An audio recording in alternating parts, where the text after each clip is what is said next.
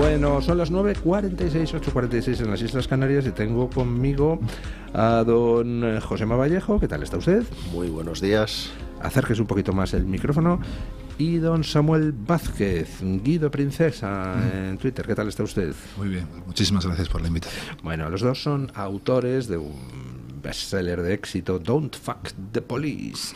No fastidiéis a la policía.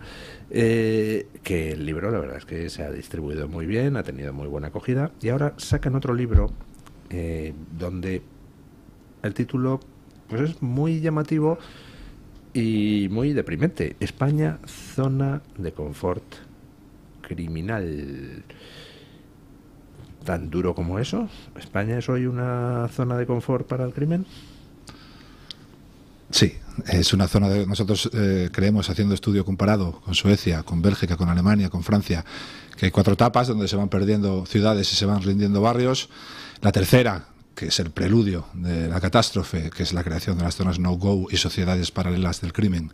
La tercera la llamamos así, zona de confort criminal, es el paso previo, donde la permisividad política, la ausencia en la imposición de la autoridad y otra serie de ítems nos llevan directamente al desastre y nosotros creemos que en España estamos en esa tercera fase, en esas zonas de confort criminal que estallarán si nadie hace nada dentro de seis, siete, ocho años. Un país, criminalmente hablando, se pierde muy rápido. Francia en 15, 20 años, Suecia en 8, 10 años, se pierde muy rápido. Nosotros llevamos 5 o 6 de proceso. Eh, Hablan ustedes, dedican algún capítulo en el libro, por ejemplo, al caso de Barcelona, a la que llaman Guarcelona. Eso ha sido idea, idea de este. Sí, es una, es una expresión coloquial que se utiliza para bueno, designar ahora mismo Cataluña, Barcelona en concreto por ser su capital, como una zona de guerra. Y es que España, abundando en, en esta zona de confort criminal, nosotros entendemos España ahora mismo como un polígono industrial en el que se va a instalar una empresa. Esa empresa es la empresa del crimen. Toda empresa busca la zona donde expandir de mejor forma su negocio donde colocar su mercancía, explora la competencia y una vez que ha explorado la competencia, actúa contra ella de la forma que sabe hacerlo en el caso de las empresas, compitiendo pues con la calidad de sus productos, con el precio o con la calidad de la distribución. En el caso del crimen, pues compitiendo de la forma que sabe mediante la acción criminal. España es el escenario ideal ahora mismo para el establecimiento de organizaciones criminales, desgraciadamente. Han empezado por el, el norte, este, por el levante, por Cataluña y por el sur también, por la línea y por la zona de Cádiz. ¿Dónde se va a reunir todo el grueso de, esta competencia? Al final en el centro de España. En Madrid pues ya tenemos bandas de aluniceros organizadas, lo describen ustedes en su libro. Tenemos peleas entre bandas latinas que compiten por el territorio o simplemente por un quitamella, esas pajas pues cada vez eh, más frecuentes en Madrid. Eh, tenemos, eh, como usted ha dicho, en, en, al narco instalado en Cádiz, además con una parece que con una permisividad realmente curiosa. Mencionan ustedes en el libro una de las decisiones inexplicables de Marlaska, el desmantelamiento de la unidad Oconsur, la unidad que luchaba contra el narcotráfico. Eh, hemos llegado a saber por qué se desmanteló esa unidad, porque era una unidad exitosa, ¿no? Era una unidad muy exitosa, pero eh, no era una unidad exitosa para el discurso político, porque sus investigaciones eran largas, no daban a lo mejor a corto plazo, iban a por la cabeza de la hidra, que es lo que hay que hacer en términos criminales. Es decir, cuesta mucho, lleva mucho tiempo, hay que asumir muchos riesgos. Puede que en los enfrentamientos armados eh, haya bajas, eso el político no lo quiere asumir nunca, ni en España ni en ningún país de Occidente, es decir, si te matan a David y a Miguel Ángel, no pasa nada 24 horas de telediario. Nadie dimite, a nadie cesan, nadie pierde su poltrona. Si David, antes de ser arrollado, o Miguel Ángel, abren fuego y matan al chaval que llevaba la lancha, al criminal que llevaba la lancha, tienes manifestaciones en medio país. Tienes petición de ceses, probablemente algún director general, algún delegado del gobierno habría tenido que dimitir. Tienes intención de voto que baja. Es así. Es así. Es decir, lo vimos con el Black Lives Matter y Trump y la intención de voto en, eh, en Estados Unidos, lo vimos con el chico este eh, que muere en una intervención policial en Francia y se levanta medio Francia, es así. Pero tú matas a una persona Sí, honrada. Lo, lo que vemos, si me permite usted, es que eh, el impacto electoral es justo el contrario. Es decir, Claro. el Black Lives Matter al final pues es también uno de los responsables de la victoria de Trump. Eh, todas esas manifestaciones terribles en Francia contra la policía al final son eh, en parte responsables del ascenso Sí, de y- y- Marine Le Pen. ¿no? Y, y lo que hace Bukele también es luego responsable de que el 90% de la población se ponga en fila india detrás suyo. Pero eso es a largo plazo. Al, al corto plazo, Trump perdió las elecciones. Al corto plazo sí tiene un coste. Y los políticos nuestros, nuestros políticos, solo piensan en cuatro años. Piensan en qué es bueno para la siguiente elección. Es verdad que en el largo plazo luego pasa lo que pasa. Y por eso Europa está como está. Por eso ha llegado Meloni, por eso Le Pen gana unas elecciones aunque no forma gobierno, por eso 40 años de fin de sol- de socialdemocracia en Suecia, sí, a largo plazo. Pero la decisión inmediata es la que es. El coste político, si te matan a David y a Miguel Ángel, es cero. Cero. Pero si David mata a alguien, sí que existe coste político. Entonces, esa ausencia de imponer la autoridad, pues tiene derivadas. Y antes hablado, cuando empieces hablando de esto, pues la palabra es impunidad. Al final, ciertas bandas criminales, ciertos grupos se desenvuelven con impunidad.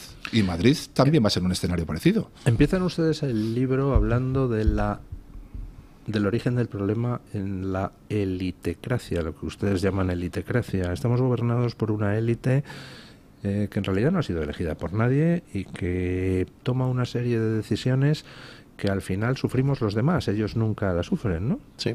Sí, sí, así es. Y además eh, son dos líneas completamente paralelas. La realidad, la realidad aplastante que vive la sociedad y la realidad que vive esa elitecracia que está en su atalaya de superioridad moral y de riqueza, donde no sufre ninguna de las consecuencias. Con el ejemplo que hemos puesto de, de Nael, el chico este francés que es abatido por un policía cuando intenta atropellarlo, el discurso oficial, el discurso de la élite, va por el lado de que este es una- un pobre muchacho sin oportunidades que únicamente sintió miedo ante una acción policial y que el policía era poco menos que un criminal psicópata. Eso era la idea de la elitecracia. ¿Por dónde iban los tiros? Pues que después de establecerse una serie de, de cuestaciones económicas para cubrir los gastos de la familia de Nael, del chico abatido, que fue difundida a bombo y platillo, también hablamos de esto en el libro, por todos los medios, eh, hasta habló de, esa cuestación el gobierno, resulta que de forma anónima hay otra parte de la sociedad que abre una cuestación para eh, ayudar económicamente a la familia del policía a sostener los pleitos judiciales a los que se iba a enfrentar.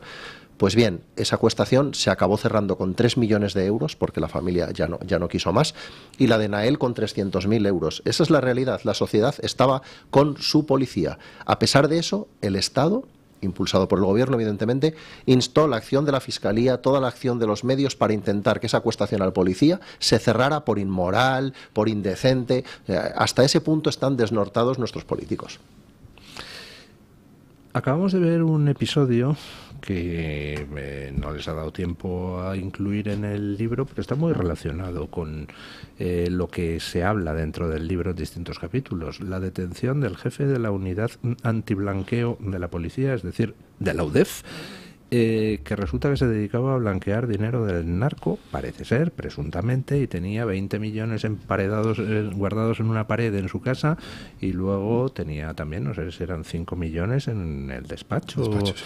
Eh, hasta ese punto hemos llegado, es decir, tenemos a la propia policía infiltrada por el narco ya. Claro, es que efectivamente dices que eso es, yo creo que eso es el espíritu del libro. Este caso es el espíritu del libro. Es decir, ¿qué, no- qué denunciamos nosotros en el libro? Con mil casos, anécdotas e historias. Denunciamos que la perspectiva política ha anulado absolutamente la profesional. Denunciamos que tenemos un modelo donde la cúspide de pirámide no se forma por mérito y capacidad, que es lo que ordena la ley en España. Se forma por libre designación, que suele ser el principio de la mediocridad, cuando no de la corrupción. Por dedos amigos. ¿Y entonces a quién se escoge? ¿A los que mejor protegen a ciudadanos y son más capaces? No, a los que mejor protegen discursos políticos, que suelen ser los más mediocres y los más vulnerables a este tipo de cosas. Y eso se premia. Nosotros hablamos ahí de la carrera profesional, del impacto que tiene permitir a un chaval, por tener una carrera que puede ser magisterio, que no tiene nada que ver con la policía, entrar directamente a la escala de inspección, y como le pasa a este hombre, y ser directamente inspector, se salta a policía oficial y su inspector, que es donde se acumula toda la experiencia operativa dentro de nuestro cuerpo. A partir de ahí es un despacho. Hasta ahí es calle, calle y calle. Se salta toda la calle, toda la primera fase, se monta, se hace la casa desde el tejado. Y luego, no solo contentos con eso, sino que entra directamente a escala ejecutiva y pasa a los servicios centrales, a los grupos centrales.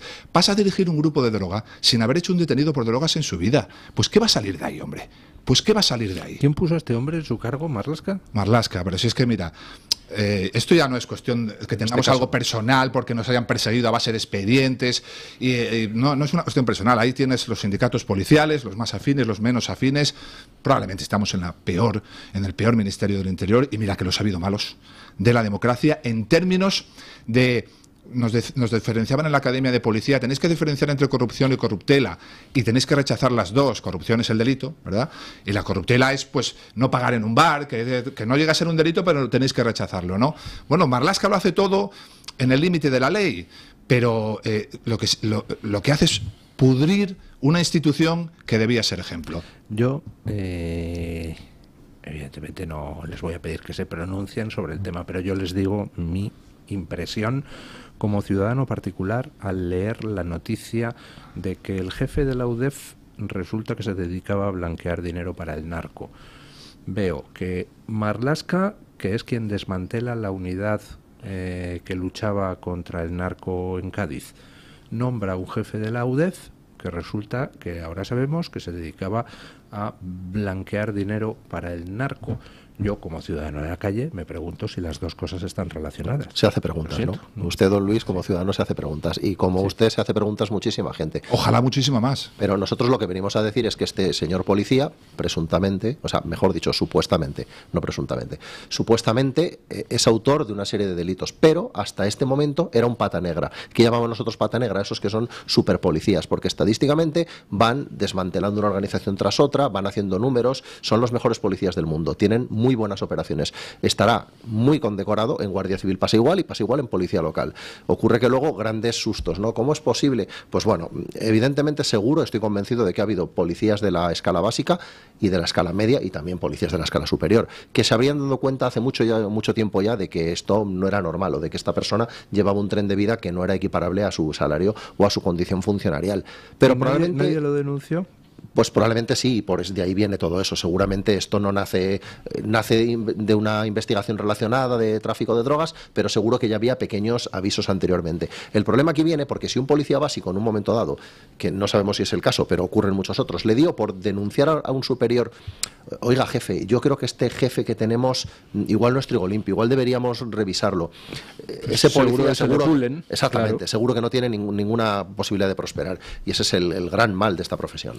Hay un debate, ustedes lo abordan en el libro, que es eh, lo de Nayib Bukele en El Salvador, donde pues eh, instaló el estado de excepción, eh, lo cual implica suspensión de garantías constitucionales y ha logrado con- convertir El Salvador en uno de los lugares más seguros del mundo, cuando era uno de los lugares más violentos y con más asesinatos. Y claro, eso plantea un dilema moral interesante.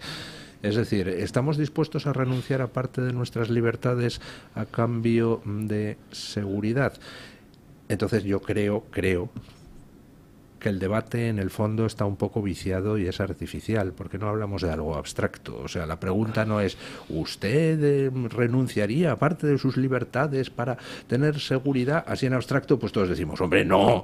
Eh, la pregunta es, ¿usted viviendo en el país eh, con más asesinatos per cápita del mundo, ¿estaría dispuesto a renunciar a una pequeña parte de sus libertades para poder luego volver a salir a la calle sin miedo a que le maten? Es decir, para recuperar otras libertades que ha perdido, ¿no? Es que no, haría falta, ¿verdad, Samuel? Si nosotros lo que precisamente estamos proponiendo es que para que no llegue ese punto en el que haya que recuperarlo todo por medio de la restricción de garantías y libertades, se pueden ir dando pequeños pasos. Esto es eh, un tumor metastizado.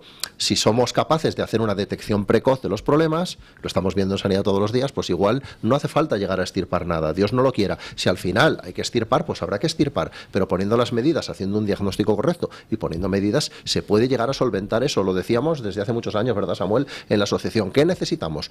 Un liderazgo fuerte de una persona que llegue y diga, me voy a limitar a hacer cumplir la ley. Si tenemos unas, buenas leyes, tenemos una buena legislación, ahora, si nadie quiere hacerlas cumplir, pues vamos a generar ese problema. Y entonces llegará un momento en el que, ahí va, ¿cómo hemos llegado hasta aquí? ¿Cómo tenemos eh, 100 homicidios? ¿Cómo tenemos tal cantidad de agresiones sexuales? En El Salvador eso es lo que había pasado. Y ahora todo el mundo se escandaliza porque haya que eh, de alguna manera, estirpar ese, ese órgano gangrenado. ¿no? Pero es una cuestión de análisis al final, es una cuestión de análisis. Bukele analiza lo que tiene allí. El problema es que en nuestras facultades de criminología y en nuestros despachos de poder seguimos, seguimos persiguiendo al Torete y al Vaquilla. Y todo es en función del lugar de nacimiento, de la capacidad socioeconómica. El Torete y el Vaquilla no existen. Los Usted ha hablado al principio de esta charla de los aluniceros. Los delincuentes de esta radio de hoy son aluniceros. Algunos viven en chalés en Majadahonda, tienen porches Cayenne y eh, reservan los mismos reservados que los futbolistas en las mejores discotecas. Seguir analizando ese problema como si fueran el Torete y el Vaquilla. El Torete y el Vaquilla buscaban un pico.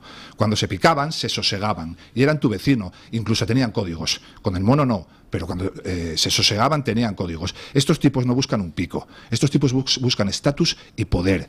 Y cuando buscas estatus y poder, la violencia es muy diferente a cuando buscas un pico, porque en el estatus y poder hay que, tener, hay que mantener unos códigos violentos permanentes. Es una cuestión de análisis. Bukele llega y analiza. Vivo en un país donde el jefe de la Mara es el comisario de policía del barrio. Y si una chica de 16 años pasa por delante de él y dice, esa en mi casa dentro de dos horas, es en su casa dentro de dos horas ofrecerse sexualmente. Y si no, la cara marcada de arriba abajo con una navaja. Dice, de aquí no salimos garantizando los derechos de todos. Ya está, no hay solución buena. Ahora tengo que escoger entre garantizarlos. Porque, partimos de una situación donde casi todos han perdido ya muchísimos derechos a manos de... Caótica. la población civil los ha, los ha perdido todos. Lo que queremos en Europa es no llegar ahí. Francia va hacia ahí.